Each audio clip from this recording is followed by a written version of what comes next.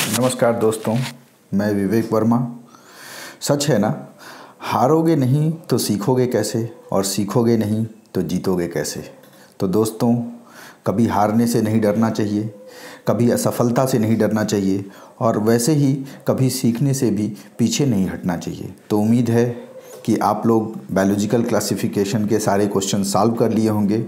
और अब देखिए जो मैंने आप लोगों का नीट एग्ज़ाम के लिए रिवीजन का जो एक शेड्यूल बनाया था, उस शेड्यूल के हिसाब से आज के डेट में cell cycle and cell division discuss करना था। तो मैं अब सेम शेड्यूल फॉलो करूँगा। अगर बीच में जो दो, तीन, चार चैप्टर छूटे हैं, उसको लास्ट में मैं कवर करूँगा। तो आप लोगों से प्लीज़ ये रिक्वेस्ट है कि आप लोग उस शेड्यूल को प्रॉपर फॉलो करेंगे अब, और उसी शेड्यूल के हिसाब से आप अपनी पढ़ाई शुरू कर दीजिए, और डेली एक एक चैप्टर कम से कम हम लोग ख़त्म करेंगे, जो भी मैंने शेड्यूल आपको दिया था। अगर आप कहेंगे तो मैं शेड्यूल आपको फिर से दे दूँगा, ठीक है? और एक बात मैं कह देना चाहता हूँ कि देखिए आप लोग बड़ी मेहनत से मैं ये वीडियो बना रहा हूँ तो आप लोग ज़रूर क्वेश्चंस को देखें सॉल्व करें और रिवीजन करें। मतलब अपने समय को सार्थक तरीके से इस्तेमाल करें। और अच्छी बात है कि अभी आप घर पे हैं, कहीं जाना भी नहीं है तो आप मैक्सिमम टाइम अपने पढ़ाई पे दें। ये अलग बात है कि नीट का एग्ज़ाम टल गया है, लेकिन हो सकता है ईश्वर ने आपको एक मौका दिया हो कि आप इस समय को अच्छे से यूटिलाइज़ करके अपना सिलेक्शन इंश्योर कर सकें। और हाँ जिन लोगों ने अभी तक मेरे चैनल को सब्सक्राइब नहीं किया है दोस्तों, वो लोग ज़रूर चैनल को सब्सक्राइब कर लें। और मुझे कमेंट दे के एटलीस्ट मुझे क्या और इसमें सुधार करना चाहिए या क्या डाउट्स आपके हैं, वो सारे डाउट्स आप लोग कमेंट्स के द्वारा पूछ सकते हैं, जिससे मैं इन चीज़ों को और इम्प्रूव कर सकूँ। ठीक है दोस्तों? चलिए, हम लोग नया chapter cell cycle and cell division शुरू करेंगे, जो कि क्लास एलेवेंथ का चैप्टर नंबर टेन है। ठीक है? अगर नीट के एग्ज़ाम के पॉइंट ऑफ़ व्यू से देखें हम लोग तो नीट के एग्ज़ाम में इस चैप्टर से एक या दो क्वेश्चन लगभग हर साल होता है। मतलब मिनिमम एक क्वेश्चन और दो क्वेश्चन। तो दो क्वेश्चन का पोटेंशियल है। ये चैप्टर आसान है, बहुत बड़ा भी नहीं है, जिसको आसानी से किया जा सकता है। ठीक है? तो ये एक स्कोरिंग चैप्टर हो सकता है। मतलब कम मेहनत में आप एक या दो क्वेश्चन बड़े आसानी से सही कर सकते हैं। ठीक है? चलिए। तो एज़ यूज़ुअल आप लोग सभी लोग एन e की बुक्स जल्दी से आप लोग ले लीजिए अपने सामने, जिससे हम लोग एन e को फॉलो करते हुए इनके क्वेश्चंस को सॉल्व करेंगे। ठीक है? चलिए। हम लोग शुरू करते हैं पहले क्वेश्चन से। आपके सामने पहला क्वेश्चन स्क्रीन पे है, देखिए।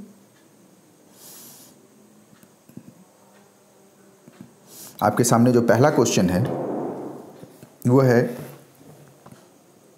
which of the following options gives the correct sequence of events during mitosis यानी माइटोसिस के दौरान बेसिकली पूछ रहा है कि कौन सा करेक्ट सीक्वेंस है इवेंट्स का, ठीक है? तो देखिए सेल डिवीज़न बेसिकली दो टाइप का होता है माइटोसिस और मियोसिस माइटोसिस को हम इक्वेटोरियल डिवीज़न या इक्वेशनल डिवीज़न बोलते हैं, जहाँ प्लॉइडी में कोई चेंज नहीं होता है। यानी अगर यंग हैप्लॉइड सेल है तो उससे दो हैप्लॉइड सेल बनते हैं। प्लाइडी में कोई चेंज नहीं होता है।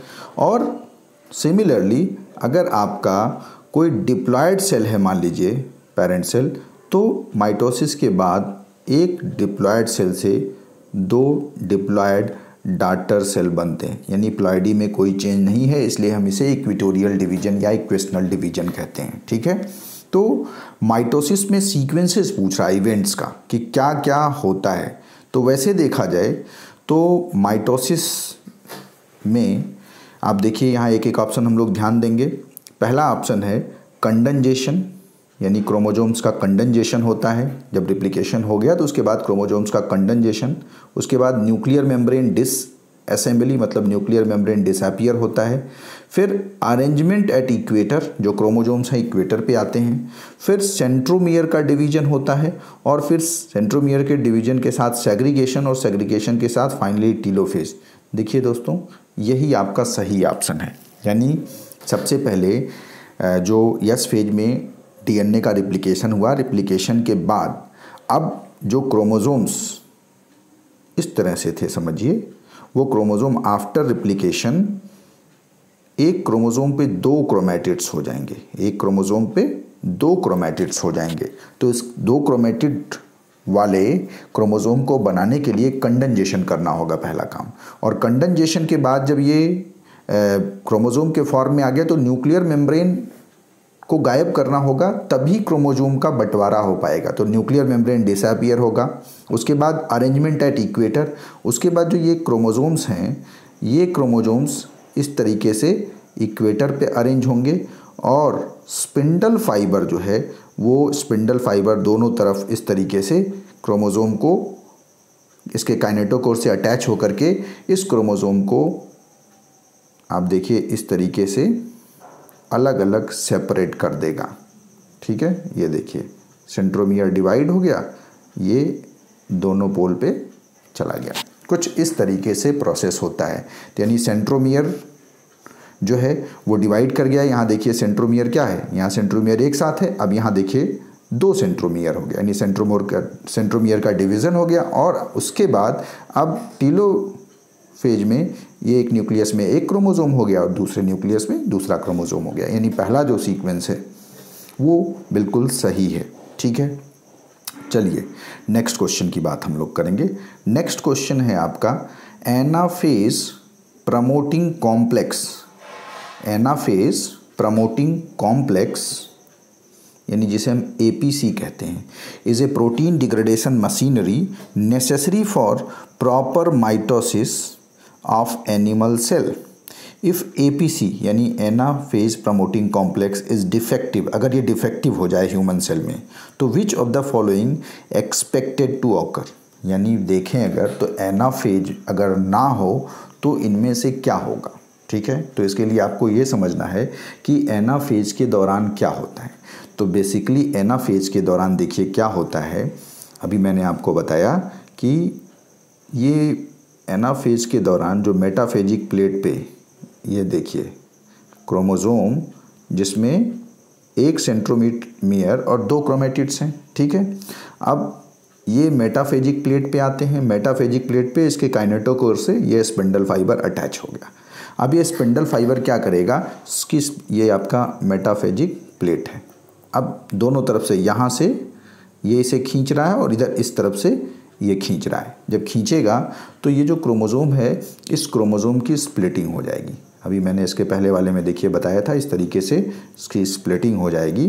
तो इस स्प्लिटिंग में देखिए क्या होगा?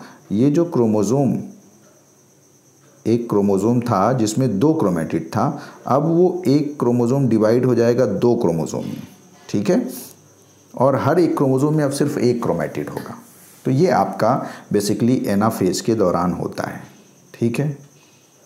ये आपका एनाफेज के दौरान होता है, ठीक है? तो अब अगर एनाफेज प्रमोटिंग कॉम्प्लेक्स मान लीजिए किसी कारण से डिग्रेड हो जाए तो ये जो सेपरेशन है ये जो सेंट्रोमियर का सेपरेशन हो गया, लेकिन अगर स्पिंडल ब्रेकडाउन कर जाए तो ये सारे के सारे जो क्रोमोजोम्स हैं, ये सारे के सारे क्रोमोजोम्स इक्वल डिस्ट्रीब्यूशन नहीं होगा। तो चलिए ऑप्शन देखते हैं हम लोग क्या क्या ऑप्शन में दिया हुआ है। तो पहला ऑप्शन दिया हुआ है क्रोमोज़ोम विल बी फ्रैगमेंटेड मतलब क्रोमोज़ोम टुकड़ों में हो जाएगा तो ऐसा कुछ नहीं है। क्रोमोज़ोम विल नॉट सेग्रीगेट भाई, स्पिंडल फाइबर सेग्रीगेशन का काम कर रहा था ना, उसको सेग्रीगेट करके अलग अलग पोल पे ले जा रहा था। तो यही सेग्रीगेशन वाला काम, जो बंटवारे का काम है, वो रुक जाएगा, वो नहीं होगा। फिर भी हम बाकी ऑप्शन देख लेते हैं रिकम्बिनेशन ऑफ़ क्रोमोज़ोम तो कोई रिकम्बिनेशन नहीं होता है। क्रोमोज़ोम विल नॉट कंडेंस तो कंडेंजेशन से भी इसका कोई मतलब नहीं है। तो आपका दूसरा ऑप्शन सही हो जाएगा, ठीक है? चलिए नेक्स्ट क्वेश्चन हम लोग देखते हैं। नेक्स्ट क्वेश्चन आपके सामने है during cell growth DNA synthesis takes place DNA की सिंथेसिस कब होती है, ये पूछ रहा है, ठीक है? तो बेसिकली आप अगर सेल को डिवाइड करते हुए उसके सेल साइकिल को अगर बनाएँ तो किसी भी सेल में जो एक साइक्लिक इवेंट होता है उसके डिवीज़न का, उसी को हम कहते हैं सेल साइकिल, जिसमें बेसिकली सबसे पहले होता है जीवन फ़ेज़। जीवन फ़ेज़ के बाद आता है यस फ़ेज़, ठीक है? यस फ़ेज़ के बाद आता है जी टू फ़ेज़ और जी टू फ़ेज़ के बाद आता है यम फ़ेज़, ठीक है? और यम फ़ेज़ के बाद वापस जीवन फ़ेज़ आता है। ठीक है? ये आपका कंप्लीट सेल साइकिल है। और इस कंप्लीट सेल साइकिल में अगर आप ध्यान दें आप तो यहाँ आपको एक चीज़ दिख रहा होगा कि जी वन जी टू और ये जो यस फ़ेज़ है, इस सबको मिला के हम क्या बोलते हैं? इस सबको मिला के हम बोलते हैं इंटरफेज क्या बोलते हैं? इसे बोलते हैं हम इंटरफेज ठीक है? जबकि ये जो बाकी बचा हुआ हिस्सा है, देखिए ये इसे हम बोलते हैं यम फ़ेज़। इसे हम क्या बोलते हैं? यम फ़ेज़। तो किसी भी सेल साइकिल में जो ये इंटरफेज है, ये मैक्सिमम कंट्रीब्यूट कर रहा है। देखिए, आपके सामने दिख रहा है, ये इंटरफेज मैक्सिमम कंट्रीब्यूट कर रहा है, जो टोटल सेल साइकिल का 95 परसेंट कंट्रीब्यूट करता है। यानी बाकी जो पाँच परसेंट बचा, वो पाँच परसेंट यम फ़ेज़ होता है। ठीक है? तो ये जो इंटरफेज है, इस इंटरफेज में ही डीएनए की सिंथेसिस होती है और वो डीएनए की सिंथेसिस होती है यस फ़ेज़ में, जिसका नाम भी सिंथेटिक फ़ेज़ या सिंथेसिस फ़ेज़ है। ठीक है? तो इसका आंसर देखिए क्या हो जाएगा? इसका आंसर हो जाएगा during cell growth DNA synthesis occurs या takes place on S phase ठीक है? चलिए नेक्स्ट क्वेश्चन हम लोग देखेंगे। नेक्स्ट क्वेश्चन आपके सामने स्क्रीन पे है। when cell has stalled when cell has stalled DNA replication for which checkpoint should be predominantly activated? When cell has stalled DNA, DNA replication for which checkpoint should be predominantly activated? तो यहाँ पे देखिए, ये पूछ रहा है कि DNA replication फो जो है, वो यानी एक तरह से डीएनए रिप्लिकेशन अगर हो गया है, एक तरह से तो अगर डीएनए रिप्लिकेशन कंप्लीट हो गया है तो डीएनए रिप्लिकेशन कंप्लीट होने के बाद कौन सा चेक पॉइंट काम करेगा? तो डीएनए रिप्लिकेशन कंप्लीट होने के बाद जो चेक पॉइंट काम करता है, वो basically G two checkpoint काम करता है। क्या काम करता है? जी टू चेक पॉइंट काम करता है। ठीक है? चलिए हम लोग अब नेक्स्ट क्वेश्चन की बात करेंगे। नेक्स्ट क्वेश्चन आपके सामने है।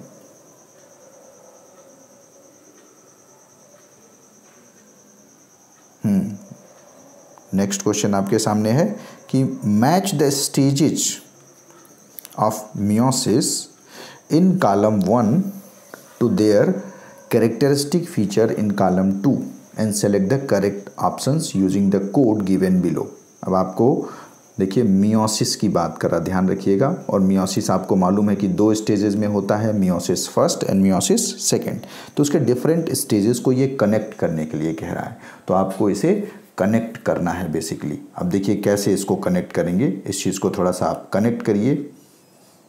एक एक करके मैं पढ़ रहा हूँ और उसको हम लोग देखेंगे। पहला है पैकेटिन। तो पैकेटिन कहाँ से होगा भाई? पैकेटीन की खास बात है कि इसमें क्रॉसिंग ओवर होता है। तो इसको क्रॉसिंग ओवर से जोड़ दीजिए, ठीक है?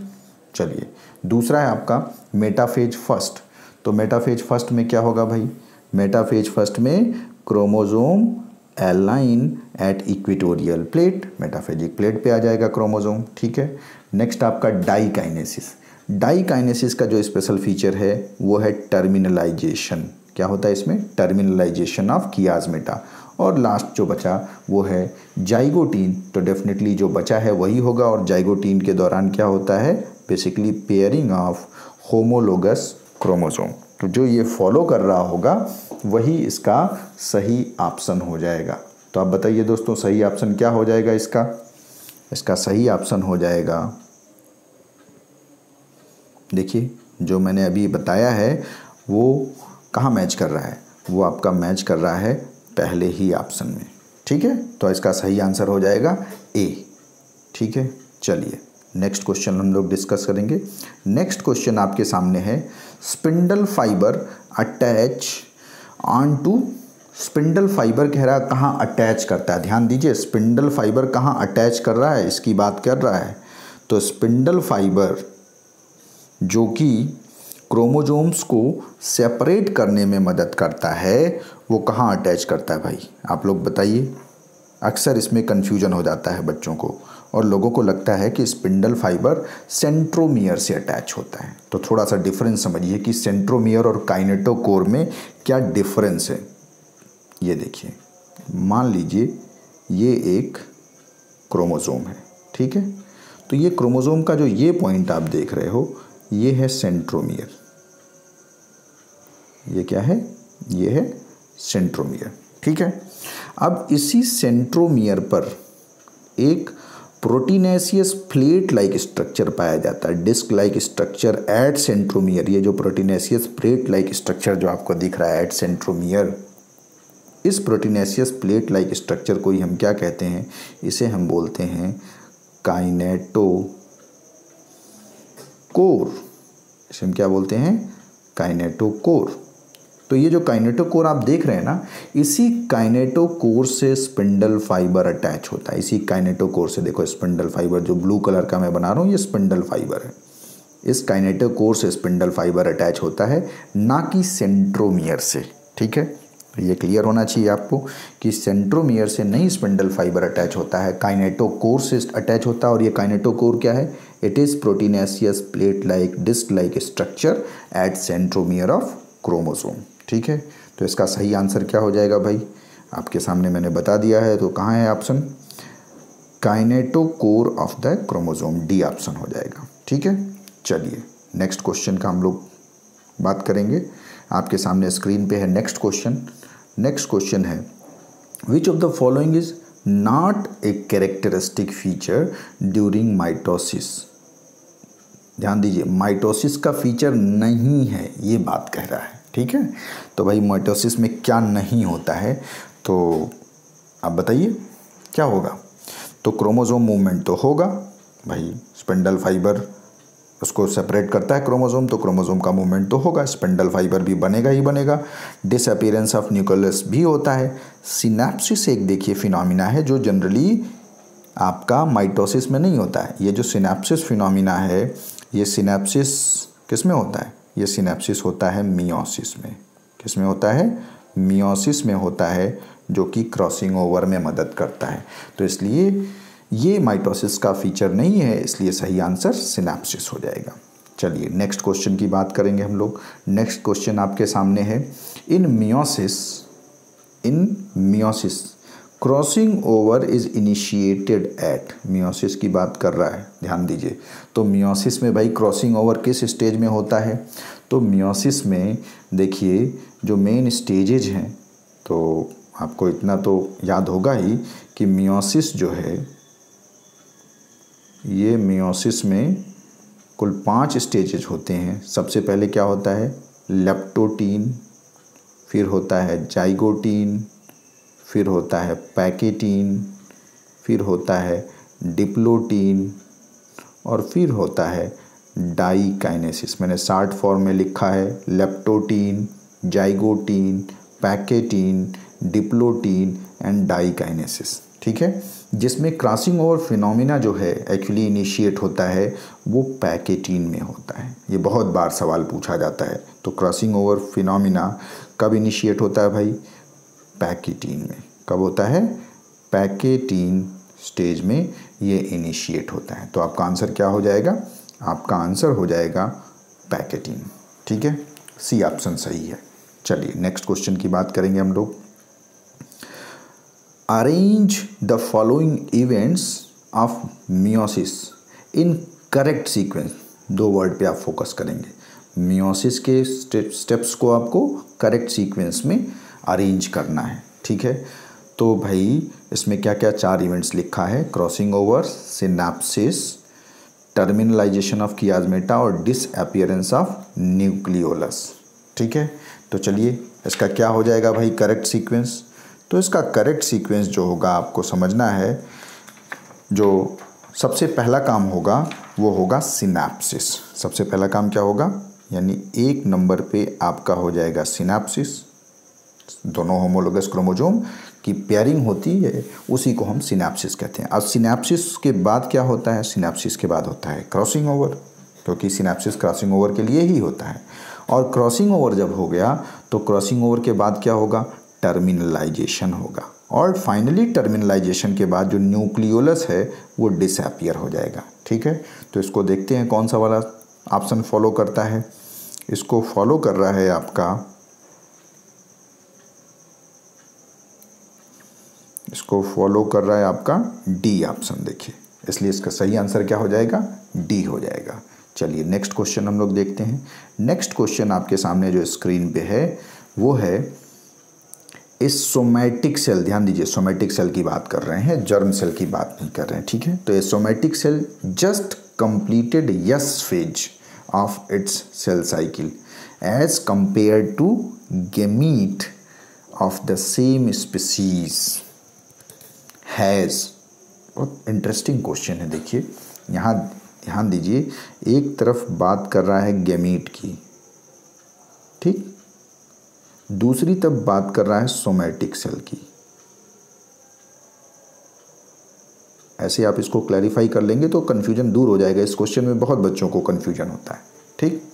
तो कह रहा है कि somatic cell that has just completed S phase ऐसा सोमैटिक सेल जिसने यस फ़ेज़ कंप्लीट कर लिया सेल साइकिल का तो गमीट के कंपैरिजन में उसमें क्या चेंज होगा? तो पहले गमीट में क्या स्टेटस है देख लें। गमीट में जो स्टेटस होता है, वो होता है हैप्लॉयड सेट ऑफ़ क्रोमोजोम होता है। और उस हैप्लॉयड सेट ऑफ़ क्रोमोजोम में मान लेते हैं, जो टोटल अमाउंट ऑफ़ डीएनए है, वो टोटल अमाउंट ऑफ़ डीएनए मान लीजिए सी है। डीएनए के अमाउंट को हम सी वैल्यू से रिप्रेजेंट करते हैं। तो टोटल जो डीएनए का अमाउंट है, वो क्या है? सी है। कोई डाउट है? नहीं। चलिए, ये हो गया आपका गैमीट का स्टेटस यानी इसी के कंपैरिजन में आपको अब आंसर बताना है। तो नंबर ऑफ़ क्रोमोजोम यन हो गया और टोटल जो अमाउंट ऑफ़ डीएनए उसको हमने क्या मान लिया? सी मान लिया। अब सोमेटिक सेल में क्या होता है इनिशियली सोमेटिक सेल में जो है, ये डिप्लॉयड सेल होता है यानी क्रोमोजोम की संख्या। गैमीट के कंपैरिजन में क्या है? दुगनी है टू एन कंडीशन है, ठीक? और जो अमाउंट ऑफ़ क्रोमोजोम है, चूँकि क्रोमोजोम की संख्या दुगनी है तो amount of chrome sorry amount of जो डीएनए है, आप देखिए गैमीट में अमाउंट ऑफ़ डीएनए सी है, लेकिन यहाँ अमाउंट ऑफ़ जो डीएनए है, वो इस सी का दुगना हो जाएगा, यानी टू सी हो जाएगा। क्या हो जाएगा? टू सी हो जाएगा। ठीक है? तो अब अगर आप यस फ़ेज़ करा दीजिए तो यस फ़ेज़ के बाद क्या होगा कि यस फ़ेज़ में देखिए क्या होता है? जो डीएनए है, उसका रिप्लिकेशन होता है। रिप्लिकेशन होता है मतलब अमाउंट ऑफ़ जो डीएनए है वो तो डबल होता है, यानी अमाउंट ऑफ़ डीएनए जो है वो डबल हो जाता है, यानी टू सी था तो amount of DNA four C हो गया। लेकिन ध्यान रहे without changing the ploidy ploidy में कोई चेंज नहीं है। प्लॉयडी अब भी टू एन है। अब भी प्लॉयडी क्या है? टू एन है, यानी प्लॉयडी में कोई चेंज नहीं, लेकिन अमाउंट ऑफ़ डीएनए जो है वो टू सी से फोर सी हो गया। अंतर सिर्फ़ क्या होता है, समझिए, कि इस केस में क्रोमोज़ोम में एक क्रोमेटिड होता है, जबकि इस केस में क्या हो जाता है? क्रोमोज़ोम में दो क्रोमेटिड हो जाता है। यानी नंबर ऑफ़ क्रोमोज़ोम यहाँ क्या है? यहाँ भी एक है। और यहाँ क्या है? यहाँ भी नंबर ऑफ़ क्रोमोज़ोम एक है। लेकिन इस केस में डीएनए का अमाउंट अगर टू सी है तो यहाँ उसका दुगना यानी फोर सी हो जाएगा। ठीक है? अभी आपको समझ में आ गया इतना बात? इतना बात समझ में आ गया? तो अब देखिए गमीट के कंपैरिजन में यही तो चेंज हो रहा है। तो गैमीट के कंपैरिजन में जो क्रोमोजोम की संख्या है वो क्या हो जा रही है? दुगनी हो जा रही है, यानी डबल हो जा रही है। लेकिन जो अमाउंट ऑफ़ डीएनए है, वो चार गुना हो जा रहा है। क्या हो जा रहा है? चार गुना हो जा रहा है। ठीक है? चलिए तो आपका आंसर क्या हो जाएगा? आपका आंसर हो जाएगा कि twice the number of chromosome and four times the amount of DNA DNA का अमाउंट चार गुना हो जाएगा। ये क्वेश्चन में बहुत कन्फ्यूज़न होता है, इसलिए मैंने क्लैरिफाई कर दिया। ठीक है? चलिए नेक्स्ट क्वेश्चन हम लोग देखते हैं। नेक्स्ट क्वेश्चन आपके सामने स्क्रीन पे है। Select the correct option select the correct option आपको दो कॉलम में दिया हुआ है, दोनों कॉलम को आपको मिलाना है। ठीक है? चलिए तो एक एक करके मिला लेते हैं। सिनेप्सिस एलाइन होमोलोगस क्रोमोसोम तो भाई सिनेप्सिस कब होता है? नेचुरल है सिनेप्सिस जाइगोटीन में होता आपने पढ़ा है। दूसरा है synthesis of RNA and protein तो आरएनए और प्रोटीन का जो सिंथेसिस है, वो जनरली जी टू फ़ेज़ में होता है, ठीक है? नेक्स्ट है आपका action of enzyme recombinase recombinase enzyme कम काम करेगा भाई। रिकम्बिनेज एंजाइम मतलब रिकम्बिनेशन यानी क्रॉसिंग ओवर में। और क्रॉसिंग ओवर होता कब है? पैकेटिंग में होता है, ठीक है? और लास्ट ऑप्शन जो है, वो है centromere do not separate but chromatids move towards opposite pole तो ये देखिए भाई, होता है ये मियोसिस में, और वो भी मियोसिस में मियोसिस फ़र्स्ट में होता है। और वो भी मियोसिस फ़र्स्ट में कब होता है? एनाफेज फ़र्स्ट में, जहाँ सेंट्रोमियर जो है, वो सेपरेट नहीं करता है, ठीक है? लेकिन क्रोमेटिड्स जो हैं, वो अपोजिट पोल पे मूव कर जाते हैं। यानी देखिए जनरली एनाफेज वन में क्या होता है? इस तरीके से क्रोमोज़ोम जो पेयरिंग करके मेटाफेजिक प्लेट पे आए थे, दो अलग अलग तरह के क्रोमोजोम जो होमोलगस क्रोमोजोम थे, देखिए अलग अलग कलर से बना दे रहा हूँ मैं, जिससे आपको क्लैरिफाई रहे। तो ये देखिए पेयर्स के रूप में मेटाफेजिक प्लेट पे आए। अब स्पिंडल फाइबर जो है, ये एनाफेज में स्पिंडल फाइबर इसको इधर खींचेगा और इसको इधर खींचेगा। और फाइनली जो है क्रोमोजोम का कोई सेपरेशन सेंट्रोमियर नहीं सेपरेट हो रहा, देखो। बस ये जो क्रोमोजोम है, एक इधर पहुँच जाएगा और ये नीला वाला इधर पहुँच जाएगा। यानी इस दौरान सेंट्रोमियर नहीं सेपरेट कर रहा है। सिर्फ़ क्या सेपरेट कर रहा है? क्रोमेटिड्स जो हैं, ये क्रोमेटिड्स मूव कर जा रहे हैं। ठीक है? तो ये आपका एनाफेज फ़र्स्ट हो जाएगा। ठीक है? चलिए तो इसका सही ऑप्शन क्या हो जाएगा भाई? इसका सही ऑप्शन हो जाएगा आपके सामने। कौन सा वाला ऑप्शन सही है? आप ध्यान दीजिए, जो अभी मैंने बताया है, उसको अगर पेयर करेंगे तो आपका डी ऑप्शन हो जाएगा। ठीक है? चलिए नेक्स्ट क्वेश्चन अब हम लोग बात करेंगे। नेक्स्ट क्वेश्चन आपके सामने है। ड्यूरिंग विच फ़ेज़ या phases of cell cycle cell cycle के फ़ेज़ की बात कर रहा है amount of DNA in a cell remains four C amount of DNA four C है। If the initial amount is donated by two C अगर initial to सी है तो अमाउंट जो है, वो क्या हो जाएगा? फोर सी हो जाएगा। कब होगा? तो मैंने बताया है यस फ़ेज़ में अमाउंट तो दुगना होता है, लेकिन प्लॉयडी में कोई चेंज नहीं होता है। तो ये कब होगा? आप बताइए सोच करके। जीवन में तो होगा नहीं। सिंथेसिस जो हो रही है डीएनए का रिप्लिकेशन वो कब हो रहा है? यस फ़ेज़ में हो रहा है। यानी यस के अंत या यस के बाद आपका जी टू में होगा। और यम में होगा ये सिचुएशन तो इसका सही ऑप्शन देखिए क्या होता है। जी ज़ीरो और जी वन तो नहीं होगा। ठीक है? ये पॉसिबल नहीं है। फिर आपका जो दूसरा ऑप्शन इंटरेस्टिंग है, इसमें यस तो हो सकता है, लेकिन जी वन है, इसलिए ये भी नहीं होगा। G two only G two और यहाँ लिख रहा है जी टू यहाँ देखिए ये दो ऑप्शन इंटरेस्टिंग है। वनली जी टू और जी टू एंड यम। तो आप बताइए कौन सा ज़्यादा अप्रोप्रिएट आंसर है? क्या होगा आपका आंसर हम्म? सोच के बताइए। ये इंटरेस्टिंग क्वेश्चन है। ठीक है?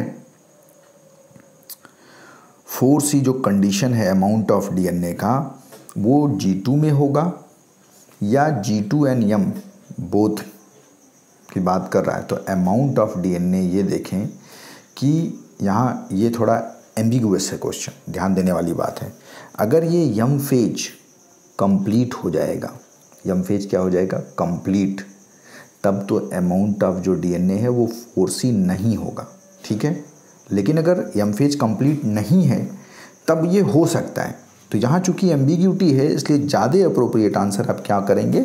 वनली जी टू करेंगे, ठीक है? एम्बिग्यूटी है, इसलिए हम जी टू कर रहे हैं।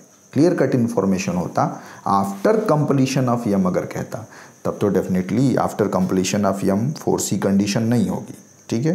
तो इसका ओनली जी टू फ़ेज़ हो जाएगा। चलिए नेक्स्ट क्वेश्चन हम लोग देखते हैं।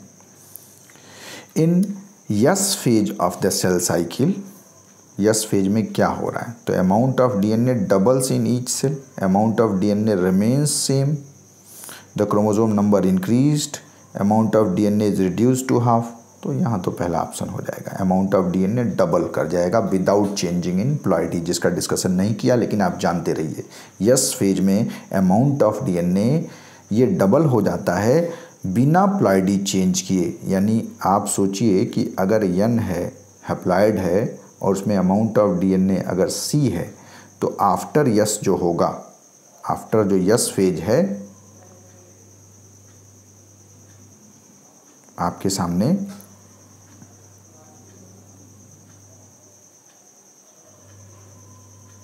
चलिए हम लोग क्वेश्चन नंबर थर्टीन की बात कर रहे थे ना? तो अगर अमाउंट ऑफ़ अगर मान लीजिए क्रोमोज़ोम की संख्या यन है और उसमें अमाउंट अगर सी है तो यस के बाद क्या होगा? यस के बाद ये जो क्रोमोज़ोम की संख्या है, वो यन ही होगी। लेकिन ये जो सी था, ये सी टू सी हो जाएगा क्योंकि डीएनए का रिप्लिकेशन हुआ है। तो बिना प्लॉयडी चेंज किया। हैप्लॉयड का देखिए, यहाँ भी हैप्लॉयड यहाँ भी हैप्लॉयड तो हैप्लॉयड का हैप्लॉयड ही है, लेकिन जो अमाउंट ऑफ़ डीएनए है, वो सी से टू सी हो गया। जबकि प्लॉयडी एन से एन ही है। तो बिना प्लॉयडी बदले अमाउंट ऑफ़ जो डीएनए है, वो डबल कर जाता है। ठीक है? तो इसको ध्यान रखिएगा। बहुत बार ये तरह का सवाल पूछा हुआ है। चलिए नेक्स्ट क्वेश्चन हम लोग करेंगे डिस्कस नेक्स्ट क्वेश्चन आपके सामने है। एस्टीज stage a stage in cell division is shown in the figure select the answer which give correct identification of the stage with its characteristic. तो ये देखिए, आपके सामने एक डायग्राम दिया है। उस डायग्राम के कोरिलेशन में पूछ रहा है कि कौन बेस्ट एक्सप्लेन कर रहा है इसको, ठीक है? तो बेसिकली आप देखिए, यहाँ पे दोनों तरफ़ ऑलमोस्ट न्यूक्लियस का फॉर्मेशन हो गया है। ये देखिए, दोनों तरफ़ न्यूक्लियस का फॉर्मेशन हो गया है। ये ध्यान देने वाली बात है। तो चूँकि दोनों तरफ़ न्यूक्लियस का फॉर्मेशन हो गया है और यहाँ ग्रुप भी बन चुका है। अब देखिए एनिमल सेल है तो ये आपका ग्रुप भी बन चुका है, यानी ये रिप्रेजेंट कर रहा है टीलोफेज को, जहाँ nuclear envelope reform and Golgi complex reform that is telophase is what it is reverse of prophase ठीक है? तो इसलिए इसका आंसर क्या हो जाएगा? टीलोफेज चलिए नेक्स्ट क्वेश्चन की बात करेंगे हम लोग। नेक्स्ट क्वेश्चन आपके सामने है। During meiosis first during meiosis first की बात देखो, हम लोग कर रहे हैं। The chromosome start pairing at तो भाई क्रोमोजोम की होमोलोगस पेयरिंग मियोसिस फ़र्स्ट में कब होती है, मैंने बताया है। सिनेप्सिस कब होती है, बताइए। सिनेप्सिस जाइगोटीन में होती है, ठीक है? पैकेटीन में क्या होता है? क्रॉसिंग ओवर होता है। और डिप्लोटीन में क्या होता है, बताइए। डिप्लोटीन में बेसिकली प्रोमिनेंट आपको कियाजमे कियाजमेटा दिखता है, ठीक है? और डाइकेनिसिस में फाइनली फाइनली जो है क्रोमोजोम अलग हो जाता है, यानी टर्मिनलाइजेशन हो जाता है, ठीक? तो बेसिकली जो क्रोमोजोम की पेयरिंग होती है, जिसे हम सिनेप्सिस कहते हैं, वो आपका जाइगोटीन में होता है। कहाँ होता है? जाइगोटीन में होता है, ठीक है? चलिए तो इस क्वेश्चन के आंसर को आप मेमोराइज कर लीजिए, ठीक? चलिए नेक्स्ट क्वेश्चन हम लोग देखते हैं। नेक्स्ट क्वेश्चन आपके सामने है। During the metaphase stage of meiosis metaphase of meiosis sorry mitosis कह रहा है। Metaphase of mitosis spindle fibre attach to chromosome at बता चुके हैं काइनेटोकोर तो कहाँ है भाई? सेंट्र काइनेटोकोर ए ही आपका ऑप्शन हो जाएगा। ठीक है? चलिए नेक्स्ट क्वेश्चन अब हम लोग देखेंगे।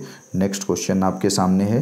A stage of mitosis is shown in the diagram which stage is it and what are its characteristic feature stage दिया हुआ है, देखिए डायग्राम में आगे, जिसको कह रहा है कि ये किस स्टेज को रिप्रेजेंट कर रहा है डायग्राम में, ठीक है? तो ये देखिए आपके सामने, ये आपके सामने डायग्राम है। तो इस डायग्राम में आपको बहुत क्लियरली एक चीज़ दिख रहा है कि सारे के सारे क्रोमोज़ोम जो हैं वो इक्विटोरियल प्लेट पे हैं। कहाँ है? इक्विटोरियल प्लेट पे। और ये इक्विटोरियल प्लेट में कब आते हैं? मेटाफेज में आते हैं। कब आते हैं ये? ये आते हैं मेटाफेज में। ठीक है? तो देख लेते हैं।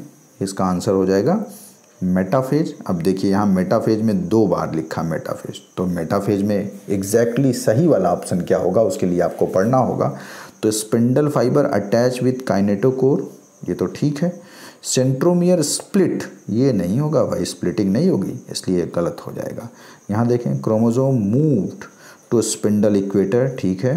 Chromosome made up of two sister chromatids यही आपका सही हो जाएगा, ठीक है। क्योंकि देखिए, इस दौरान आपका जो क्रोमोजोम है टू सिस्टर क्रोमेटिड्स से मिला हुआ है, बना हुआ है, और इसके काइनेटो कोर से क्या अटैच्ड है? इसके काइनेटो कोर से अटैच्ड है स्पिंडल फाइबर ठीक है? चलिए नेक्स्ट क्वेश्चन देखते हैं हम लोग। नेक्स्ट क्वेश्चन आपके सामने है। ड्यूरिंग गैमीट फॉर्मेशन की बात कर रहा है, देखो gamete formation the enzyme recombinase participate during तो भाई रिकम्बिनेज मतलब क्रॉसिंग ओवर में मदद करेगा रिकम्बिनेशन में मदद करेगा। तो रिकम्बिनेशन कब होता है भाई? रिकम्बिनेशन यानी क्रॉसिंग ओवर होता है प्रोफेज फ़र्स्ट के पैकेटीन स्टेज में। प्रोफेज फ़र्स्ट के पैकेटीन स्टेज को बहुत पूछता है, ये भी सवाल तो याद रखिएगा, ठीक है? तो प्रोफेज फ़र्स्ट के पैकेटीन स्टेज में आपका रिकम्बिनेशन या क्रॉसिंग ओवर होगा क्लियर है? जिस, जो रिस्पॉन्सिबल होता है वेरिएशन के लिए, ठीक? चलिए नेक्स्ट क्वेश्चन की बात हम लोग करेंगे। आपके सामने नेक्स्ट क्वेश्चन जो है, वो है कि the given figure the given figure is representation of a certain event at particular stage of a type of cell division which is this stage आप यहाँ देखिए ध्यान तो यहाँ एक्सचेंज ऑफ़ जेनेटिक मटेरियल हो रहा है ना? हो रहा है एक्सचेंज ऑफ़ जेनेटिक मटेरियल आप देखिए इस काले वाले क्रोमोजोम का हिस्सा सफ़ेद वाले के साथ आ गया और सफ़ेद वाले क्रोमोजोम का हिस्सा काले वाले के साथ आ गया, यानी अदला बदली हो गई। क्या हो गई? अदला बदली। तो exchange of genetic material between two non sister chromatids of homologous chromosome is called crossing over ठीक है? तो ये क्रॉसिंग ओवर कब होता है भाई? प्रोफेज फ़र्स्ट ड्यूरिंग मियोसिस तो इसका सही ऑप्शन क्या हो जाएगा? संयोग से आपका पहला ही ऑप्शन सही हो जाएगा। क्या हो जाएगा इसका? पहला ही option prophase first during meiosis चलिए नेक्स्ट क्वेश्चन हम लोग देखते हैं। नेक्स्ट क्वेश्चन आपके सामने है। Identify the mitotic sorry meiotic not mitotic meiotic stage in which the homologous chromosomes separate while the sister chromatids remain associated at their centromere भाई देखो क्या कह रहा है कि होमोलोगस क्रोमोजोम तो अलग हो जा रहा है लेकिन सिस्टर क्रोमेटिड्स अभी भी साथ पाए जा रहे हैं समझ में आया कुछ समझ में आ रहा कि नहीं ये देखिए ये दो ये क्रोमोजोम है और एक अलग कलर में आपके सामने बना देता हूँ तो समझना थोड़ा आसान होगा।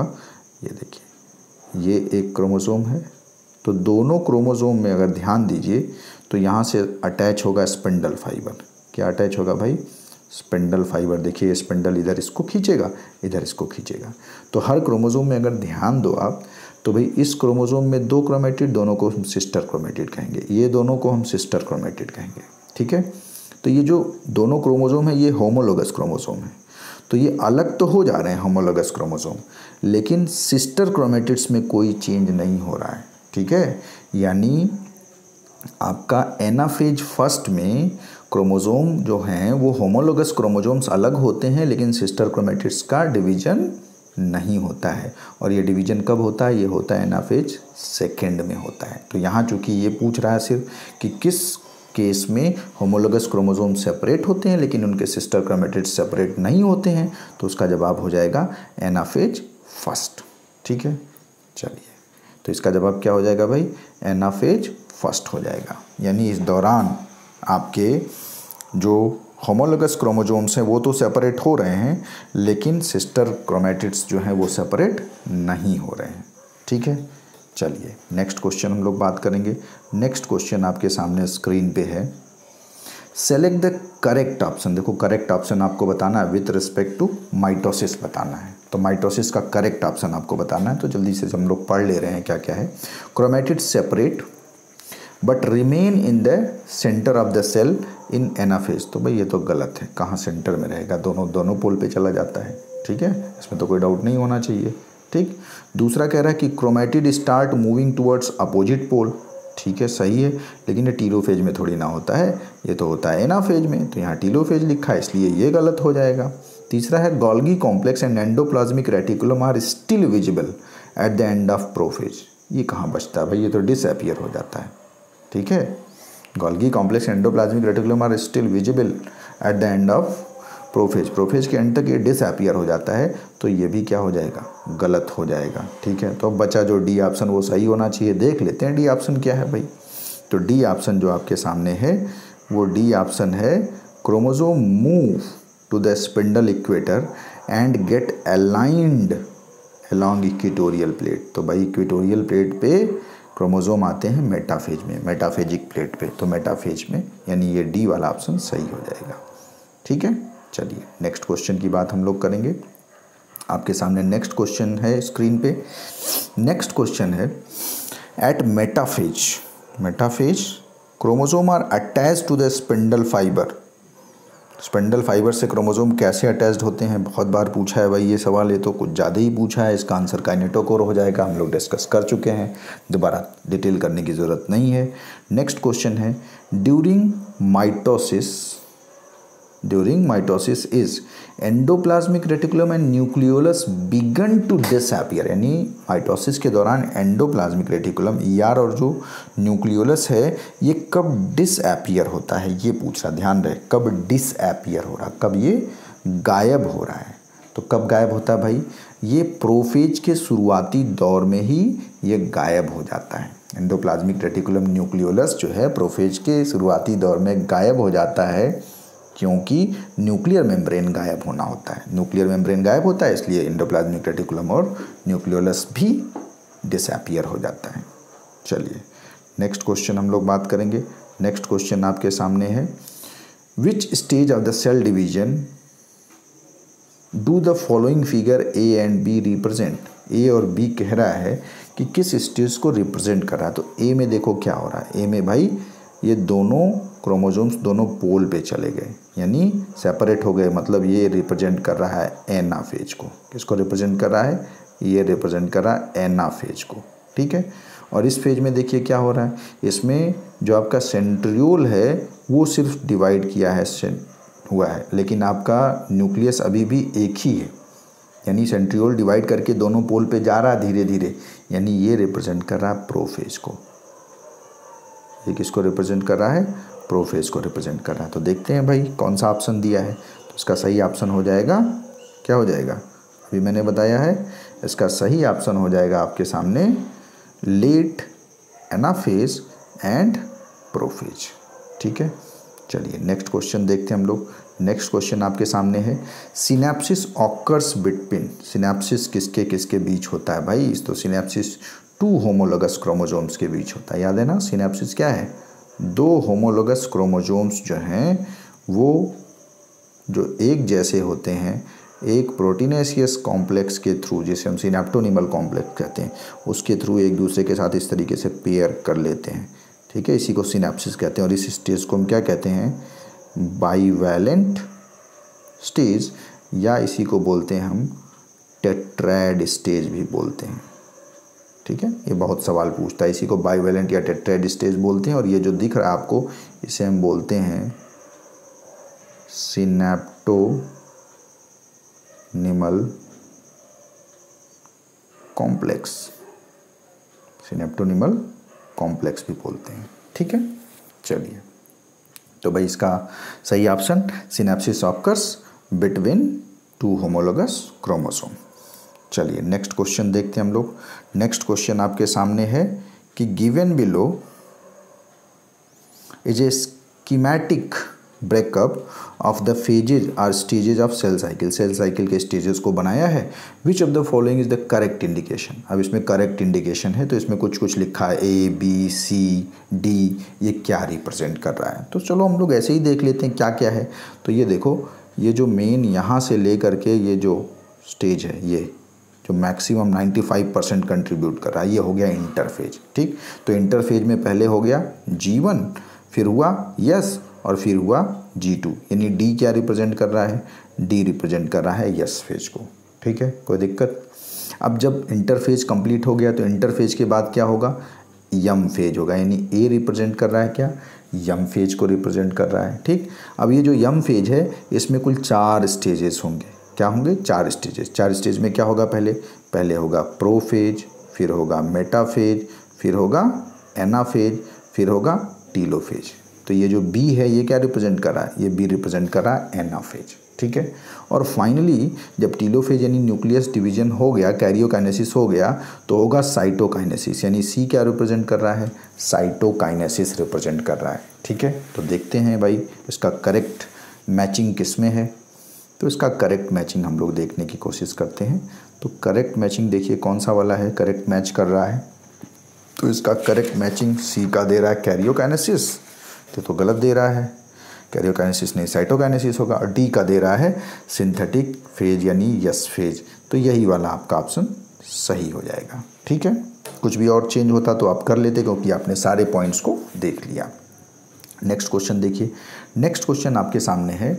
At what stage of cell cycle are histone proteins synthesise in a eukaryotic cell eukaryotic cell में कह रहा है सेल साइकिल के यू कैरियोटिक मैंने यू कैरियोटिक सेल में सेल साइकिल के किस स्टेज में हिस्टोन प्रोटीन सिंथेसाइज होता है? तो हिस्टोन प्रोटीन बेसिकली जो क्रोमोजोम बनाने में या डीएनए के सुपर क्वाइलिंग में मदद करता है, ये किस स्टेज में होता है? ठीक है? तो ये आपका ड्यूरिंग यस फ़ेज़ ही हो जाता है। जिस दौरान डीएनए का रिप्लिकेशन होता है, उसी दौरान ये जो सुपर क्वाइलिंग वाले प्रोटीन हैं हिस्टोन प्रोटीन्स वो भी बन जाते हैं। क्योंकि प्रोफेज में कंडेंजेशन करना होता है ना तो अगर बना नहीं होगा स्टोन तो कंडेंजेशन कैसे होगा? इसलिए यस फ़ेज़ के दौरान ही हिस्टोन प्रोटीन भी बन जाता है। ठीक है? चलिए नेक्स्ट क्वेश्चन हम लोग देखते हैं। नेक्स्ट क्वेश्चन आपके सामने है।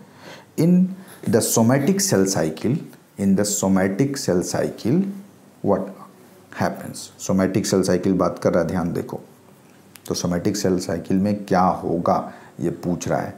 तो पहला दे रहा है कि in G one phase DNA content is double ये तो गलत हो गया भाई, ये तो यस में होता है। दूसरा है DNA replication takes place in S phase यही सही हो जाएगा, फिर भी बाकी ऑप्शन देख लेते हैं।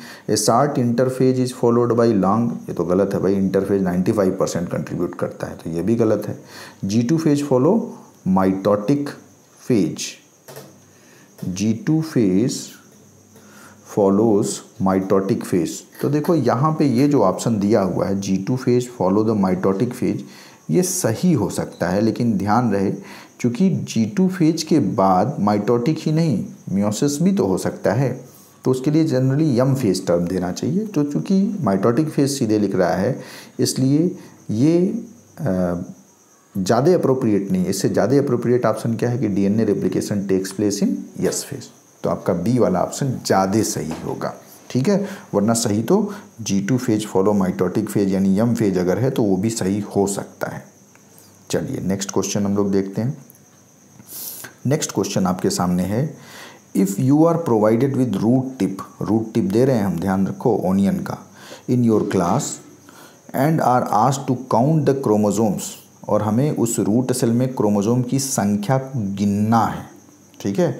तो which of the following stage can you most conveniently look into तो आप जानते रहिए कि जनरली क्रोमोजोम की जो विजिबिलिटी है, वो सबसे अच्छी होती है मेटाफेज में। तो मेटाफेज में ही हम क्रोमोजोम की संख्या को आसानी से गिन सकते हैं, क्योंकि सारे क्रोमोजोम्स एक लाइन से ऐसे मेटाफेजिक प्लेट पे आके रहते हैं। ठीक है? सारे क्रोमोजोम्स एक लाइन से मेटाफेजिक प्लेट पे इस तरीके से पाए जाते हैं। इसलिए मेटाफेज में क्रोमोजोम की विजिबिलिटी सबसे अच्छी होती है। जैसे बिल्कुल समझिए कि जैसे प्ले ग्राउंड और प्रेयर ग्राउंड सोचिए तो प्रेयर के समय सारे बच्चे एक लाइन से अरेंज होते हैं कि नहीं? तो उस समय उनको काउंट करना, या प्ले ग्राउंड में सब इधर तितर वितर घूम रहे हैं, खेल रहे हैं, दौड़ रहे हैं तो कब ज़्यादा अच्छा विजिबिलिटी होगा? जब वो एक लाइन से अरेंज है तो एक लाइन से क्रोमोजोम अरेंज होते हैं। मेटाफेज में, इसलिए मेटाफेज में विजिबिलिटी क्रोमोजोम की सबसे अच्छी होती है। नेक्स्ट क्वेश्चन देखिए। नेक्स्ट क्वेश्चन आपके सामने है स्क्रीन पे। विच आपके सामने नेक्स्ट क्वेश्चन देखिए। Which one of the following proceeds reformation of nuclear envelope during M phase of cell cycle कह रहा है कि भाई यम फ़ेज़ जो सेल साइकिल है, उस दौरान विच प्रोसीड्स रीफॉर्मेशन ठीक? विच प्रोसीड्स रीफॉर्मेशन तो इसका आंसर देखिए क्या होगा भाई? प्रोसीड्स मतलब after formation of nuclear envelope क्या हो रहा है? ठीक है? तो after formation of nuclear envelope basically क्या होगा? Formation of contractile ring and formation of phragmoplast होगा। ठीक है? जिससे कि टीलोफेज में कैरियोकाइनेसिस कंप्लीट हो जाए और दो प्रॉपर न्यूक्लियस का फॉर्मेशन हो जाए, जिससे कि आपका साइटोकाइनेसिस या सेल डिवीज़न आसानी से हो पाए। बाकी ऑप्शंस भी देख लेते हैं हम लोग। यहाँ कह रहा है decondensation from chromosome and reassembly of nuclear lamina तो ये गलत हो जाएगा। Transcription from chromosomes and reassembly of nuclear transcription नहीं होगा, formation of contractile ring and transcription from chromosome नहीं होगा। Formation of contractile ring and formation of phragmoplast, ये इसका बेटर ऑप्शन होगा। ठीक है? यम फ़ेज़ चलिए। तो आपका इसका सही आंसर हो जाएगा सी। ठीक है? चलिए नेक्स्ट क्वेश्चन हम लोग देखते हैं आपके सामने स्क्रीन पे नेक्स्ट क्वेश्चन जो है, वो है mitotic spindle is mainly composed of which protein mitotic spindle पूछ रहा है तो mitotic spindle is mainly made up of basically spindle fibres जो होते हैं, वो ट्यूबलिन के बने होते हैं।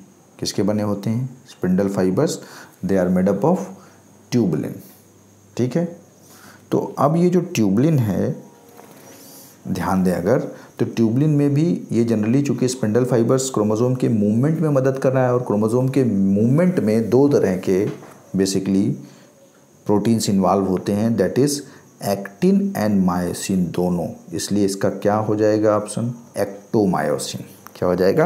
एक्टोमायोसिन सही आंसर हो जाएगा। ठीक है? अगर ट्यूबलिन दिया होता तो इसका आंसर ट्यूबलिन होता। चलिए नेक्स्ट क्वेश्चन हम लोग देखते हैं। Best material for study of mitosis. Mitosis की स्टडी करना आपको लेबोरेटरी में तो आप भाई क्या लेंगे? माइटोसिस मतलब आपको कैसा डिवीज़न कराना है? इक्विटोरियल डिवीज़न तो इक्विटोरियल डिवीज़न सोमैटिक सेल में होगा। सोमैटिक सेल कोई मेरिस्टमेटिक टिश्यू ले लेते हैं, जो सोमैटिक है गैमेट फॉर्मेशन जहाँ नहीं हो रहा है तो रूट टिप मेरे ख्याल से, आप देखिए, ये सोमैटिक सेल हो गया, जहाँ बहुत तेज़ी से सेल का डिवीज़न होता है तो रूट टिप का हम इस्तेमाल करेंगे माइटोसिस की स्टडी के लिए। लेकिन वहीं अगर मियोसिस की स्टडी करनी होती तो हम क्या लेते? तब हम एंथर लेते। तो ये जानते रहिए आप। नेक्स्ट देखिए आपका क्वेश्चन आपके सामने है। Spindle fibre unite which structure of chromosome? तो फिर से वही सवाल पूछ लिया कि स्पिंडल फाइबर कहाँ अटैच होता है क्रोमोसोम के? कहाँ अटैच होता है भाई? काइनेटोकोर। कहाँ होता है? काइनेटोकोर कई बार ये सवाल पूछा हुआ है तो याद कर लीजिए। काइनेटोकोर क्या होता है?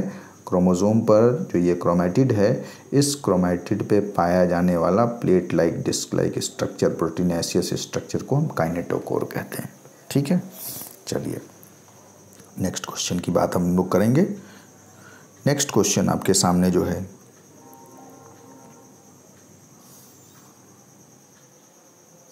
in which stage of cell cycle in which stage of cell cycle DNA replication occurs ये तो बहुत आसान सवाल है यस फ़ेज़ में होता है, ठीक है? चलिए नेक्स्ट क्वेश्चन आपका है कि microtubules is involve in the तो माइक्रोटिब्यूल्स किसमें इन्वॉल्व होगा भाई? माइक्रोटिब्यूल्स किसमें इन्वॉल्व होगा? स्पिंडल फॉर्मेशन और स्पिंडल फॉर्मेशन कब होता है? सेल डिवीज़न में, ठीक है? तो ये आपका आंसर सेल डिवीज़न हो जाएगा। नेक्स्ट क्वेश्चन आपका सामने है कि how many mitotic divisions are needed for single cell to make 128 cell कितने माइटोसिस चाहिए? 128 सेल एक सेल से बनाने के लिए।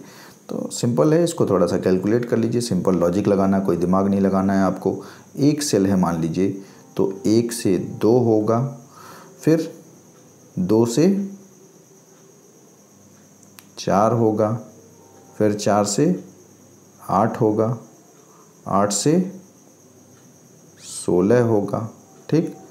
फिर सोलह से बत्तीस होगा। फिर बत्तीस से चौंसठ होगा और फिर चौंसठ से एक सौ अट्ठाईस। कितने हो गए भाई mitosis गिनिए one, two, three, four, five, six और फाइनली सेवन। यानी सही आंसर क्या हो जाएगा इसका? सेवन ठीक है? चलिए, इसका सही आंसर हो गया सेवन नेक्स्ट क्वेश्चन देखिए आपका। नेक्स्ट क्वेश्चन है during cell division in apical meristem the nuclear membrane appears in nuclear membrane appears in तो सेल डिवीज़न के दौरान न्यूक्लियर मेम्ब्रेन कब भाई रीअपियर होता है? बताइए। तो टीलोफेज, जो कि प्रोफेज का उल्टा होता है, रिवर्स ऑफ़ प्रोफेज तो प्रोफेज में न्यूक्लियर मेम्ब्रेन गायब हुआ था तो टीलोफेज में न्यूक्लियर मेम्ब्रेन क्या हो जाएगा? रीअपियर हो जाएगा। ठीक है? चलिए नेक्स्ट क्वेश्चन देखिए आपके सामने स्क्रीन पे है। नेक्स्ट क्वेश्चन है, when parental and maternal chromosome change their material with each other in cell division, भाई, exchange of genetic material, exchange of genetic material क्या कहते हैं? Exchange of genetic material between two non sister chromatids of homologous chromosome is called crossing over this is responsible for recombination variation तो इसका जवाब हो जाएगा crossing over ठीक है? चलिए नेक्स्ट सवाल हम लोग देखते हैं। नेक्स्ट क्वेश्चन आपके सामने है। Which typical stage is known for DNA replication आसान सवाल है, कई बार पूछा है यस फ़ेज़ हो जाएगा इसका आंसर ठीक है? चलिए नेक्स्ट क्वेश्चन आपके सामने स्क्रीन पे है। In some in a somatic cell cycle DNA synthesis takes place in कह रहा है, भाई सोमेटिक सेल साइकिल में डीएनए की जो सिंथेसिस है, वो कहाँ होती है? फिर से आसान वाला सवाल पूछ लिया, यस, फ़ेज़ होगा इसका आंसर। बहुत पूछा है ये सवाल, इसके याद कर लीजिएगा बिल्कुल ठीक से, ठीक है? यस, फ़ेज़ में डीएनए का रिप्लिकेशन भी हो रहा है और उसी दौरान हिस्टोन प्रोटीन भी बन रहा है, ठीक? जो कि क्रोमोजोम के सुपर क्वाइलिंग में मदद करता है। चलिए नेक्स्ट क्वेश्चन हम लोग देखते हैं। Which of the following represent the best stage to view the shape size and number अभी कर चुके हैं वाला क्वेश्चन मेटाफेज होगा, ठीक है? चलिए नेक्स्ट क्वेश्चन हम लोग देखते हैं। नेक्स्ट क्वेश्चन आपके सामने है। Which statement best explain the evolutionary advantage of meiosis meiosis का इवोल्यूशनरी एडवांटेज क्या? तो भाई म्योसिस का इवोल्यूशनरी एडवांटेज है कि म्योसिस काज करता है वेरिएशन क्या काज करता है? वेरिएशन और मियोसिस में जो वेरिएशन होता है, किसकी वजह से होता है? ये होता है ड्यू टू क्रॉसिंग ओवर ये होता है ड्यू टू क्रॉसिंग ओवर या रिकम्बिनेशन ठीक है तो ऑप्शन में देखते हैं। पहला है meiosis is necessary for sexual reproduction दूसरा ऑप्शन देखते हैं हम लोग। दूसरा है genetic recombination are possible from generation to generation ठीक है? तो ये जो genetic recombination are possible from generation to generation यही इसका इवोल्यूशनरी सिग्निफिकेंस है। जेनेटिक रिकम्बिनेशन यानी crossing over and crossing over possible from generation to generation यानी मियोसिस की वजह से ये जो क्रॉसिंग ओवर होता है जनरेशन आफ्टर जनरेशन यही रिकॉम्बिनेशन के लिए रिस्पॉन्सिबल है, यही वेरिएशन के लिए रिस्पॉन्सिबल है, इसलिए यही इवोल्यूशन में हेल्पफुल है। ठीक है? चलिए नेक्स्ट क्वेश्चन हम लोग बात करेंगे। नेक्स्ट क्वेश्चन आपके सामने स्क्रीन पे मियोसिस सेकंड की बात कर रहा ध्यान देना मियोसिस सेकंड परफॉर्म्स तो मियोसिस सेकंड में क्या होता है बात कर रहा है? तो सेपरेशन ऑफ़ सेक्स क्रोमोजोम ऐसा कुछ नहीं है। Synthesis of DNA and centromere नहीं। कोई सिंथेसिस डीएनए की नहीं होती इस दौरान। Separation of homologous chromosome homologous chromosome तो आपका पहले मियोसिस फ़र्स्ट में ही सेपरेट हो जाता है तो बचा सेपरेशन ऑफ़ क्रोमेटिड यही हो जाएगा। ठीक है? चलिए नेक्स्ट क्वेश्चन हम लोग देखते हैं। नेक्स्ट क्वेश्चन आपके सामने है। Number of chromatids at metaphase is number of chromatids at metaphase is तो भाई क्रोमेटिड्स मेटाफेज में कितने होंगे? सोच के बताओ। Number of chromatids at metaphase is अब ये थोड़ा सा एम्बिगुअस क्वेश्चन हो गया, ठीक है? यहाँ होना चाहिए number of chromatids in each chromosome at metaphase होना चाहिए। क्या होना चाहिए यहाँ ऊपर मेरे ख्याल से? यहाँ होना चाहिए इन ईच क्रोमोजोम हर क्रोमोजोम में मेटाफेज में, हर क्रोमोजोम में कितने क्रोमेटिड्स होंगे? तब आपका जवाब क्या हो जाएगा? Two each in mitosis and meiosis. ठीक है? तो चाहे माइटोसिस हो, माइटोसिस में अगर आप देखिए तो मेटाफेज में इस तरीके से दो सिस्टर क्रोमेटिड्स होते हैं, यानी टू और मियोसिस में भी अगर हम ध्यान दें तो भाई मियोसिस में मेटाफेज फ़र्स्ट देखो यहाँ सिर्फ़ मेटाफेज लिखा है। अब यहाँ मेटाफेज फ़र्स्ट अगर है तो क्रोमोजोम में भले होमोलोगस क्रोमोजोम है। भले होमोलोगस क्रोमोजोम है, लेकिन हर क्रोमोजोम में कितने हैं? दो ही तो हैं क्रोमेटिड और अगर मान लो मियोसिस मेटाफेज सेकंड हो जाए, यानी मियोसिस का मेटाफेज सेकंड हो जाए तो वहाँ भी यही सिचुएशन होगी। यानी हर केस में क्रोमोजोम में कितने क्रोमेटिड? एक क्रोमोजोम में दो ही क्रोमेटिड हैं, ठीक है? तो यहाँ होना चाहिए number of chromatids in each chromosome at metaphase is two each in mitosis and meiosis यही सही जवाब हो जाएगा, इसमें अक्सर लोग कंफ्यूज कर जाते हैं तो इसको चार गिन लेते हैं। तो भाई इन ईच क्रोमोजोम पूछ रहा है तो एक क्रोमोजोम हुआ ना, ये एक क्रोमोजोम ये तो इसमें दो, और एक क्रोमोजोम ये तो इसमें दो, यानी हर क्रोमोजोम में दो ही क्रोमेटेड होंगे। नेक्स्ट देखिए क्वेश्चन आपके सामने है।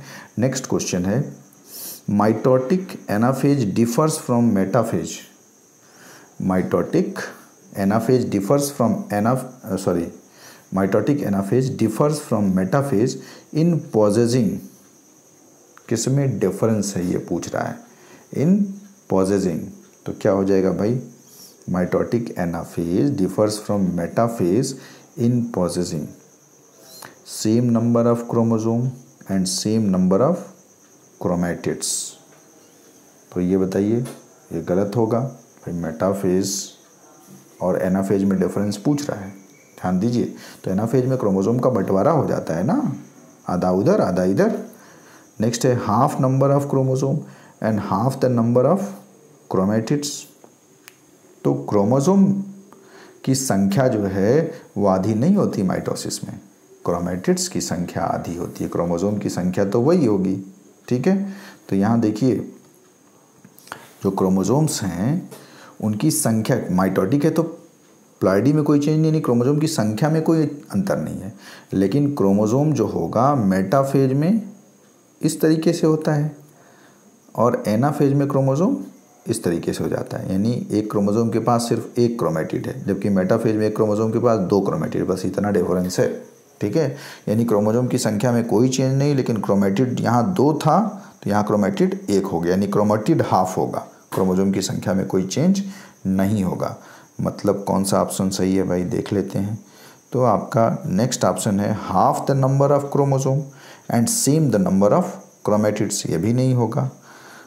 नेक्स्ट है सेम नंबर ऑफ़ क्रोमोजोम संख्या नहीं बदला क्रोमोजोम का, लेकिन नंबर ऑफ़ क्रोमेटिड आधा हो गया, यही हो जाएगा। यानी ये देखिए, ये सिचुएशन था ना? मेटाफेज में, इधर से स्पिंडल फाइबर खींचा तो एक इधर हो गया और एक इधर हो गया। तो क्रोमोजोम की संख्या जो है, अब चूँकि एनाफेज में एक इधर सेल में चला गया एक क्रोमोजोम और दूसरा उधर चला गया तो क्रोमोजोम की संख्या तो एक ही रही। लेकिन क्रोमेटिड, यहाँ देखिए एक क्रोमोजोम में दो क्रोमेटिड था, यहाँ एक क्रोमोजोम में एक ही क्रोमेटिड। तो क्रोमेटिड की संख्या क्या हो गई? आधी हो गई। चलिए नेक्स्ट क्वेश्चन हम लोग देखेंगे। नेक्स्ट क्वेश्चन है, in in meiosis the daughter cell differ from parent cell as well as among them self due to भाई पेरेंट सेल डाटर सेल और आपस में भी क्यों अंतर होता है? तो क्यों अंतर होता है भाई? एक फिनोमिना है, हम लोग जानते हैं। वो एक फिनोमिना क्या है? क्रॉसिंग ओवर ठीक है? और उस क्रॉसिंग ओवर में बेसिकली क्या होता है? इंडिपेंडेंट असार्टमेंट होता है। कोई फिक्स नहीं है कि किसके बीच क्रॉसिंग ओवर और क्या पैटर्न क्रॉसिंग ओवर का होगा। एक्सचेंज कौन से वाले हिस्से में कंपलसरी और कौन से में नहीं होगा। तो पहली बात कि क्रॉसिंग ओवर में जो असार्टमेंट होता है, जो होमोलोगस पेयर का, वो इंडिपेंडेंट असार्टमेंट कोई भी क्रोमोजोम होमोलोगस क्रोमोजोम आपस में आके दो होमोलोगस क्रोमोजोम इंडिपेंडेंटली असार्ट करते हैं। और दूसरा उनका सेग्रीगेशन होता है, वो भी इंडिपेंडेंट होता है और क्रॉसिंग ओवर में एक्सचेंज तो होता ही है। तो आपका ऑप्शन क्या हो जाएगा? Segregation independent assortment and crossing over ठीक है? यानी अगर खाली सेग्रीगेशन हो और सिर्फ़ क्रॉसिंग ओवर हो इंडिपेंडेंट असार्टमेंट ना हो इंडिपेंडेंट असार्टमेंट मतलब कोई किसी के साथ जा सकता है, ठीक है? जैसे मेंडेलियन एंटेंस में हम लोग पढ़ा था, हम लोगों ने तो जैसे रेड के साथ आपका टाल हो सकता है और रेड के साथ डॉर्फ भी हो सकता है। ठीक है? तो ये एक इंडिपेंडेंट असार्टमेंट का एग्ज़ाम्पल था। तो ये आपको समझना है कि म्योसिस में डाटर सेल और पेरेंट सेल और साथ साथ वो आपस में भी जो उनमें डिफरेंस होता है, उसके लिए तीन चीज़ें रिस्पॉन्सिबल है। Segregation independent assortment and crossing over ठीक है? चलिए नेक्स्ट क्वेश्चन की बात हम लोग करेंगे। नेक्स्ट क्वेश्चन है आपका। Segregation of Mendelian factor occurs during Mendelian factor यानी ए और ए किस दौरान अलग होते हैं बेसिकली तो ये एनाफेज वन में अलग हो जाते हैं होमोलोगस क्रोमोजोम्स ये देखिए। मान लीजिए इधर ए है तो इधर भी ए हो जाएगा, यही तो है। और इसका होमोलोगस क्रोमोजोम अगर मान लें, ये हो गया इसका होमोलोगस क्रोमोजोम तो इसके पास मान लो स्मॉल ए स्मॉल ए है। तो अब ये आपस में ऐसे सिनेप्टोनिमल कॉम्प्लेक्स होता है। इधर से ये स्पेंडल फाइबर खींच रहा है, इधर से ये स्पेंडल फाइबर खींच रहा है। तो ए कैपिटल ए और स्मॉल ए का जो सेपरेशन है, यानी रिडक्शन जो है, वो एनाफेज फ़र्स्ट में ही हो जाता है। एनाफेज फ़र्स्ट में ही हो जाता है। तो इसका आंसर क्या हो जाएगा? एनाफेज फ़र्स्ट ठीक है? चलिए नेक्स्ट और लास्ट क्वेश्चन है इसका। वो है meiosis is reductional division meiosis. First is reductional division, while meiosis. Second is equatorial division और इक्वेशनल डिवीज़न तो भाई मियोसिस फ़र्स्ट में ही प्लाइडी आधी हो जाती है। मियोसिस सेकंड तो बिल्कुल माइटोसिस जैसा होता है। तो इसका आंसर क्या हो जाएगा? भाई ऐसा इसलिए होता है due to pairing of homologous chromosome में तो गलत है। ड्यू टू क्रॉसिंग ओवर ये भी गलत है। Due to separation of chromatids चूँकि क्रोमेटिड्स जो होते हैं वो सेपरेट कर जाते हैं मियोसिस सेकेंड में, ठीक है? यानी मियोसिस फ़र्स्ट में, ये देखिए मियोसिस फ़र्स्ट में ये मान लीजिए दो होमोलोगस क्रोमोसोम है। एक को ग्रीन से हम बना देते हैं। ठीक? तो ये दोनों सेपरेट होते हैं मियोसिस फ़र्स्ट में। और मियोसिस सेकंड में क्या होता है? देखो मियोसिस सेकंड में हम सिर्फ़ एक क्रोमोसोम सेपरेट हो गए तो खाली ये वाला नीला वाला एक में जाएगा, हरा वाला एक में जाएगा तो अब ये जो नीला वाला है, इसमें फर्दर सेपरेशन होगा मियोसिस सेकंड में। और फर्दर सेपरेशन होगा तो ये ये अलग हो गया और ये अलग हो गया। ठीक है? तो आपका फाइनली इसका ऑप्शन क्या हो जाएगा? कौन सा ऑप्शन सही है? इसका सही है सेपरेशन ऑफ़ क्रोमेटिड्स ठीक? तो इस तरीके से आपका सेल डिवीज़न चैप्टर कंप्लीट हो गया। ये चैप्टर बड़ा नहीं था।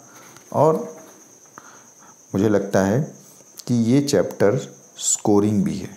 ये चैप्टर क्या है? स्कोरिंग भी है। तो इसलिए आप लोग इसे अच्छे से पढ़ लीजिएगा। और बिना समय गंवाए हुए अब आप लोग नेक्स्ट चैप्टर के लिए काम करिएगा, जो शेड्यूल में दिया गया है, ठीक है? तो सेल साइकिल और सेल डिवीज़न के बाद जो नेक्स्ट चैप्टर है, मुझे लगता है वो प्लांट फिजियोलॉजी शुरू होगा। क्या शुरू होगा? प्लांट फिजियोलॉजी शुरू होगा। तो आप लोग बच्चों प्लीज़ प्लांट फिजियोलॉजी के क्वेश्चंस सॉल्व कर लीजिएगा और जो भी क्वेश्चंस नहीं आएँगे, वो मैं प्रॉपर डिस्कस करूँगा। और उस डिस्कशन को देख करके आप आसानी से सारे क्वेश्चन को समझ लीजिएगा। अगर फिर भी नहीं समझ में आता है तो आप मेरे पर्सनल नंबर पे एसएमएस करके पर्सनल नंबर पे व्हाट्सअप करके, या मुझे फ़ोन करके आप जो भी डाउट हैं, उस डाउट को क्लियर हो सकते हैं। क्लियर कर सकते हैं। सो प्लीज़ आप लोग ये जितने भी क्वेश्चन दिए जा रहे हैं, इसको अच्छे से सॉल्व करिएगा। यही मेरा आपसे एक कह सकते हैं रिक्वेस्ट है। ये आपके फ़ायदे के लिए है, मेरे फ़ायदे के लिए नहीं है। ठीक है बच्चों? Okay thank you